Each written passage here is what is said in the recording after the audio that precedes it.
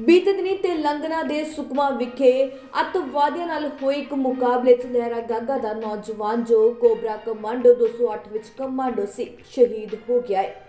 ਇਸ ਖਬਰ ਦਾ ਪਤਾ ਚੱਲਦੇ ਸਾਰ ਲਹਿਰਾ ਗਾਗਾ ਅੰਦਰ ਸੋਗ ਦੀ ਲਹਿਰ ਫੈਲ ਗਈ।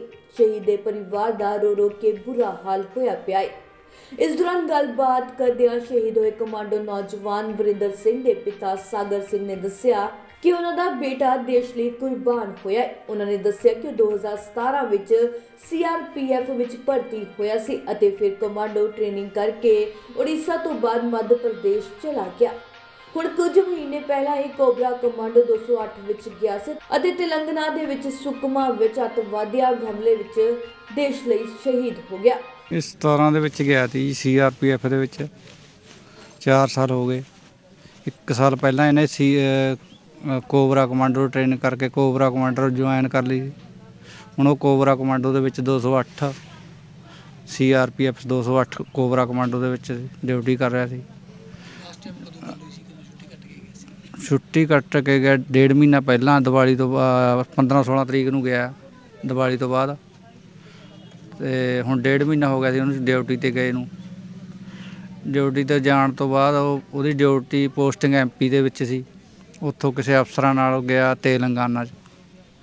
ਤੇਲੰਗਾਨਾ 'ਚ ਹੁਣ ਉਹ ਡੇਢ ਮਹੀਨਾ ਹੋ ਗਿਆ ਸੀ ਡਿਊਟੀ ਕਰਦੇ ਨੂੰ। ਜੰਗਲ ਦੇ ਅੰਦਰ ਕਿਤੇ ਕੋਈ ਇਹਨਾਂ ਦਾ ਆਪਰੇਸ਼ਨ ਚੱਲ ਰਿਹਾ ਸੀ। ਉਸ ਆਪਰੇਸ਼ਨ ਦੇ ਵਿੱਚ ਸਾਨੂੰ ਕੱਲ ਸ਼ਾਮ ਨੂੰ ਫੋਨ ਆਇਆ। ਲਾਸਟ ਵਾਰ ਸਾਡੀ 2-3 ਦਿਨ ਪਹਿਲਾਂ ਹੋਈ ਸੀ।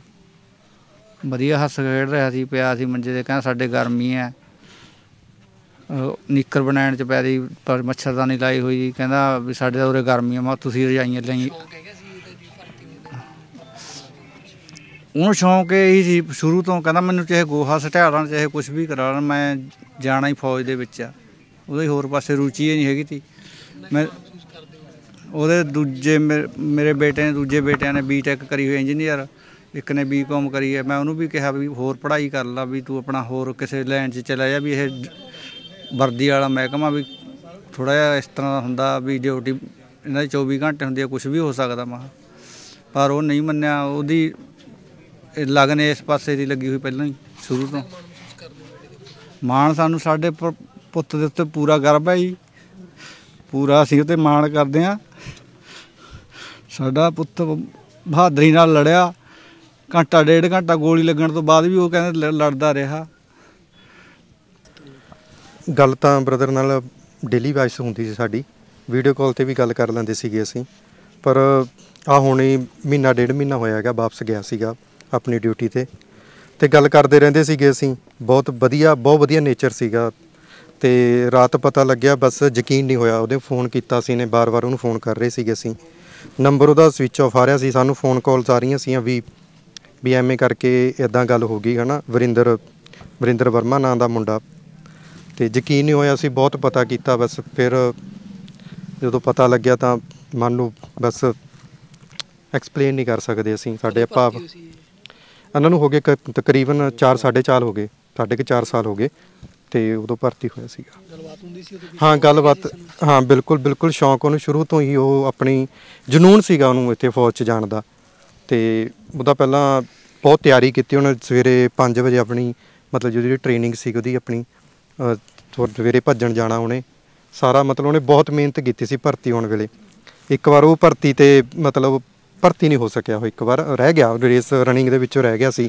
ਬਹੁਤ ਰੋਇਆ ਸੀ, ਬਹੁਤ ਸਮਝਾਇਆ ਉਹਨੂੰ, ਬਹੁਤ ਪੋਜ਼ਿਟਿਵ ਕੀਤਾ ਵੀ ਚੱਲ ਕੋਈ ਗੱਲ ਨਹੀਂ, ਤੇਰਾ ਲਾਸਟ ਚਾਂਸ ਨਹੀਂ ਹੈਗਾ। ਅੱਗੇ ਹੋਰ ਬਥੇਰੇ ਚਾਂਸ ਮਿਲਨੇ ਆ ਤੈਨੂੰ। ਤੇ ਚਲੋ ਉਹਦੀ ਮਾਲਕ ਨੇ ਸੁਣੀ, ਪਰਿਵਾਰ ਦੀ ਬਾਹ ਫੜੀ, ਉਹ ਭਰਤੀ ਹੋਇਆ। ਹੁਣ ਇਹ ਆਪਣੇ ਪਰਿਵਾਰ ਦਾ ਸਾਰਾ ਖਰਚਾ ਜਿਹੜਾ ਹਨਾ, ਪਰਿਵਾਰ ਨੂੰ ਪੈਰਾਂ ਸਿਰ ਕਰਤਾ ਸੀ ਉਹਨੇ ਹੁਣ। ਇੱਕ ਜ਼ਿੰਮੇਦਾਰ ਮੁੰਡਾ ਬਣ ਗਿਆ ਸੀਗਾ ਹੁਣ ਉਹ। ਛੁੱਟੀ ਆਂਦਾ ਮਿਲਦਾ, ਹੱਸਦਾ, ਖੇਡਦਾ ਸੀ ਸਾਡੇ ਨਾਲ। ਵੀ ਮੈਂ ਆਹ ਟ੍ਰੇਨਿੰਗ ਕਰਕੇ ਆਇਆ, ਕੋਬਰਾ ਟ੍ਰੇਨਿੰਗ ਕਰਕੇ ਆਇਆ, ਹੁਣ ਮੇਰੀ ਆਹ ਪੋਸਟਿੰਗ ਹੋ ਗਈ, ਕਮਾਂਡੋ 'ਚ ਚਲਾ ਗਿਆ ਮੈਂ।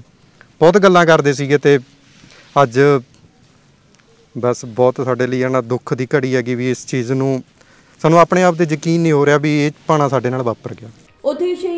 ਪਰਿਵਾਰ ਨੂੰ ਮਿਲਣ ਲਈ ਪੰਜਾਬ ਦੀ ਸਾਬਕਾ ਮੁੱਖ ਮੰਤਰੀ ਬੀਬੀ ਰਜਿੰਦਰ ਕੌਰ ਭੱਠਲ ਪਰਿਵਾਰ ਨਾਲ ਦੁੱਖ ਸਾਂਝਾ ਕਰਨ ਪਹੁੰਚੇ ਨੇ। ਉਹਨਾਂ ਬੋਲਦਿਆਂ ਕਿਹਾ ਕਿ ਸ਼ਹੀਦ ਨੂੰ ਪੂਰਾ ਮਾਨ ਸਨਮਾਨ ਦਿੱਤਾ ਜਾਵੇਗਾ। ਦੇਖੋ, ਦੋ ਗੱਲਾਂ ਹੈਗੀਆਂ, ਦੋ ਹਿੱਸੇ ਐ ਇਸ ਗੱਲ ਦੇ।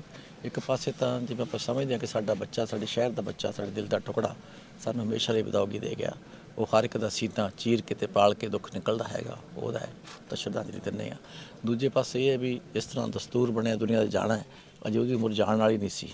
ਪਰ ਜਿਸ ਤਰ੍ਹਾਂ ਉਹ ਗਿਆ ਤੇ ਜਿਸ ਤਰ੍ਹਾਂ ਬਹਾਦਰੀ ਖੱਟ ਕੇ ਇੱਕ ਸਾਡੇ ਸਾਰਿਆਂ ਦੇ ਮੱਥੇ ਦਾ ਤਾਜ ਬਣ ਕੇ ਗਿਆ, ਉਹ ਇੱਕ ਸ਼ਹਾਦਤ ਦੀ ਸਾਨੂੰ ਬਹੁਤ ਵੱਡੀ ਇੱਕ ਮਿਸਾਲ ਕਾਇਮ ਕਰਕੇ ਗਿਆ। ਮਾਓਵਾਦੀਆਂ ਨਾਲ ਲੜਦੇ ਹੋਏ ਸ਼ਹੀਦ ਹੋਏ ਨੇ ਔਰ ਸਭ ਤੋਂ ਬਹਾਦਰ ਉਹਦੇ ਵਿੱਚ ਸੀ ਫੋਰਸ ਵਿੱਚ, ਜਿਹਨੂੰ ਕੋਬਰਾ ਬੜਾ ਵਿੰਗ ਕਿਹਾ ਜਾਂਦਾ ਹੈਗਾ।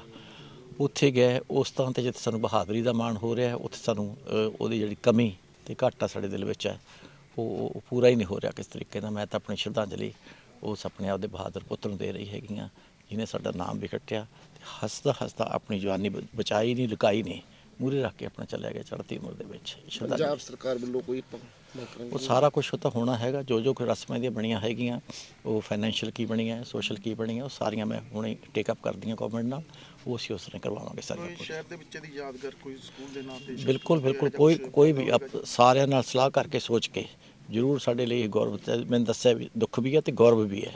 ਇਹ ਗੌਰਵ ਤੇ ਮਾਣ ਵਾਸਤੇ ਸ਼ਹਿਰ ਦੀ ਜਿਹੜੀ ਵੀ ਆਪਾਂ ਸਮਝਾਂਗੇ ਵੱਡੀ ਮਹਾਨ ਚੀਜ਼ ਹੈ ਉਹਦੇ ਤੇ ਬਾਕਾਇਦਾ ਅਸੀਂ ਉਹਨਾਂ ਦਾ ਬੁੱਤ ਵੀ ਬਣਾ ਕੇ ਲਾਵਾਂਗੇ ਤੇ ਉਹਨਾਂ ਦੇ ਨਾਮ ਤੇ ਵੀ ਰੱਖਾਂਗੇ।